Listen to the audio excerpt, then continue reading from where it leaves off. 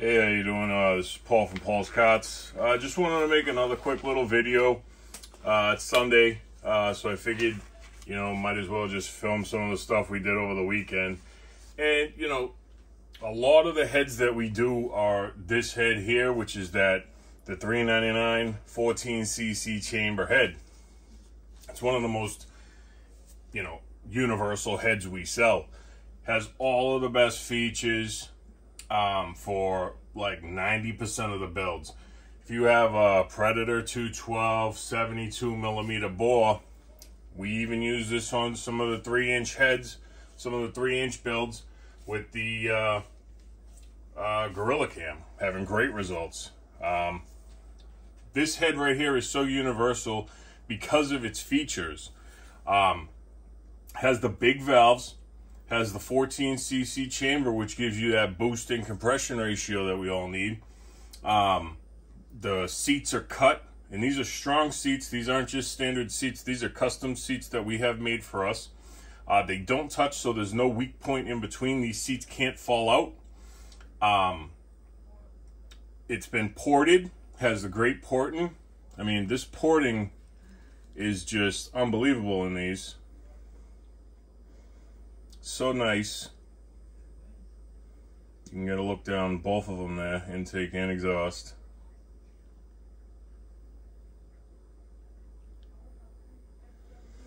Really nice porting.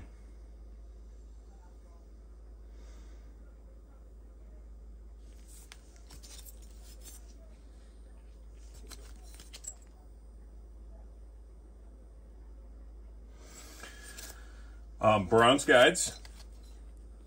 This has the uh, bronze guides with the head on them. Uh, the head prevents uh, fall through. It also um, locates the inner spring on the dual coil springs. Um, and uh, gives a little bit more stability to the valve guide, especially when you get in there and you get some big ports. Um, this area can get really thin, and when it gets hot, it can distort. So having a little bit more meat, basically like setting up a tripod, um, having a little bit more uh, material there for just to sit the guide on, uh, gives a little bit better stability. Um, bronze guides, those are Ferrea bronze guides, really nice guides, guide materials from Argentina, high quality bronze. Uh, we then take the guides, um, before we even install them, we size them, cut them to size. Uh, we shape them. Uh, we bullet shape the intake and uh, put a radius corner on the exhaust. Um, then we install the guides and we ream them and hone them uh, to size for the valve. Um, what else do we do? We uh, we port the intake, we port the exhaust, polish the exhaust. Uh, we radius cut the chamber. There's another one here I could just use to show you. We radius cut the chamber. As you can see, this radius cut. Uh, how that helps is, you know, when you're speeding up the air through the port, you're trying to uh, keep the Venturi effect or that, you know, uh, 14 degrees per side, 28 degrees inclusive, the Venturi effect through um, the port, which is constantly speeding up the airspeed. You want a very high airspeed in the port, and you want the highest point of airspeed to be at that valve seat. I've heard guys talk about it. We tested it. It's 100% true. Been doing it for a while now, about a year, since we came out with the Gen 3 porting. Creating, getting, getting all that airspeed to the highest points of the valve seat, uh, basically what you're doing with velocity is you're trading um, pressure for flow. So CFM and velocity, um, when you increase the velocity, you're actually decreasing the pressure. It sounds so crazy because every time I hear that, I'm just thinking of like a pressure washer and how much pressure comes out of that. And you could just, you know, it's high velocity. But fluid dynamics and uh, air dynamics are different. If you look it up, as velocity increases, pressure decreases. So, um, what you're trying to do in the port when you uh, increase that velocity is you're basically trying to give a pressure change to the charge right at the seat. So if you can exchange the velocity for pressure right at the seat, um, the shape after the seat with that radius cut, what that does is actually helps maintain the velocity instead of it just dumping out. I got even a third head here, but this one doesn't have the uh, chamber polished. Um, if if say you didn't have this radius cut here and it was just flush with the chamber, as the seat opens, as the valve comes off the seat, the air would just come right out and tumble. When it has this radius shape here, it maintains the velocity around the valve. Uh, so you're actually maintaining the velocity in through the port, around the seat, and a little bit more around the valve. So as it exits the chamber, then it can then um, do the pressure swap into the chamber, which increases the pressure inside the chamber. And that's where we like to uh, do our pressure exchanges after the valve, so that way we're actually ramming pressure into the cylinder. Um, again, we build all our heads to the math. We all know there's that sweet spot, which I talk about all the time. Um, the closer you can get to that sweet spot, the better off you're going to be. If you can hit that number perfectly, that's where you're going to make the most amount of power. So we like to build it to the math, use all of our velocity. Um, you know, you can have two ports that flow the same amount of air, CFM rather, uh, two ports that flow the same amount of CFM, one will just make more power. That's because of the airspeed in that port is better. Higher airspeed equals more power. So it's not really the velocity that we're trying, it's not really the CFM number that we're trying to get. It's all about the airspeed and the shape of the port and where you actually change the um, velocity for the pressure increase or do that pressure swap. Um, we like to get that right at the valve. That's where we're getting the most amount of cylinder pressure. We're building big power like that. Um, getting just tons of feedback recently. Um, we've been selling like a ton of cylinder heads. I mean, we got like, you know, a lot of these things done this weekend. Um, bunch of three inch blocks, a bunch of engine builds, um, milled pistons, valve releasing pistons, crazy weekend, bunch of coils made. Um, we do have the coils back in stock. MSD boot on, on some of them, and others come with the ground coil, uh, the ground strap, and the black boot. They are the hot coils. And uh, great product. Um, so uh, you could check these out on the website. This is a great head for, you know, a, a multitude of engines.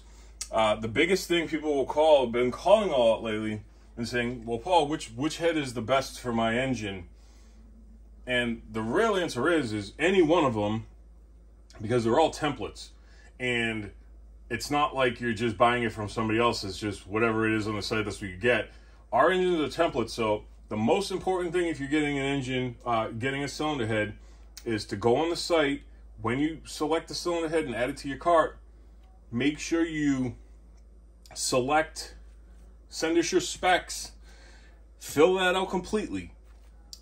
That gives us the bore, the stroke, the cam size, the carb size, the type of vehicle, the weight of vehicle. Um, the ratio of rocker. It asks a bunch of questions, which gives us that full snapshot. And from all that information, we'll know, you know, what RPM to set it at based on the camshaft you have, because that camshaft operates in a certain window. And we'll know the bore size, we'll know the volume of the engine. We'll have we'll know the carb size to know if everything's correct, if there's going to be a restriction somewhere, if we need to build around that restriction. We'll have all the information, say, upon like a stock comparing engine where you have to build upon that restriction. But we'll have all that information to be able to best tailor the head for you. So that's the head you need. It's not so much the head you pick. Um, the welded chambers are best for 212 cc's and below, like a 212. You're trying to get that 12 to 1 um, compression ratio and you really want to run big lifts so you can make big horsepower. The welded chamber is the way to go. Um, we have sold a few of those welded chambers. I'll probably be making another video. I got another one over here sitting here. It's done. Um, what we need to do is get to 12 to 1 compression ratio. It's very easy on a 72, 72 stroker and up. Uh, they just there, there's more engine there. It's not where you have to mill the head crazily. Uh, you just use the smaller chamber head, 14cc. There is two heads on the site under the 399 price tag, uh, which is our cheapest complete head, which is also our flagship. Sells a tons of great product. Just because it's cheapest doesn't mean it's the weakest. This thing is an absolute monster. Um, some of the other heads are more expensive because basically the cheaper the engine, the more you have to do to the head to get power out of it. Um, if the engine's powerful, just a nice, properly designed, engineered cylinder head makes a ton of power. Welded chamber is usually for a smaller engine. Um, you have to do more to the cylinder head, weld the chamber stuff to get the compression ratio up. Bigger the engine, you don't have to do that stuff. Keeps the price down. Uh, these heads actually do also come with the valve train. 3228 valves, uh, 37 pound red stripe springs, billet retainers and keepers, little instructions manual, tips and tricks. Sticker comes, the heads come fully stickered. Um, we are including the exhaust bolts. And uh, these things are just fantastic. I mean, the radius porting, they're just so nice, so beautiful. Everything is so well done on these. It's a very refined product. Um, this has been gone over by a true professional, gone through, um, sorted out, built for your engine, and you just can't be perfect. There is a perfect. You can't be perfect. The closer you can get to perfection, the most power you're going to make. We're trying to increase horsepower per cube once you have a certain set size engine. Whatever size engine you have, bottom end, you're trying to make that bottom end as efficient as it can be. That's increasing horsepower per cube. These heads built to your bottom end specs will give you the highest horsepower per cube possible. So check them out on the website, paulskarts.com. Um, if you want to guys want to get in contact with me, you could uh, contact me through the website. There's a button there that says contact us. If you guys want to email me, my email address is paulskarts at gmail.com. If you want to text or call, you can text or call 781 492 7358. Guys, thank you for watching. Check out the product, it's amazing. Thank you guys for all the sales, love, respect, all the shout outs I've been getting on Facebook, um, all the positive vibes I've been getting back from feedback from customers. Everything's been great. I love you guys. Everybody have a great race season. Stay fast, stay safe. I'm Paul's Paul's Karts, and until next time, guys, have a nice day.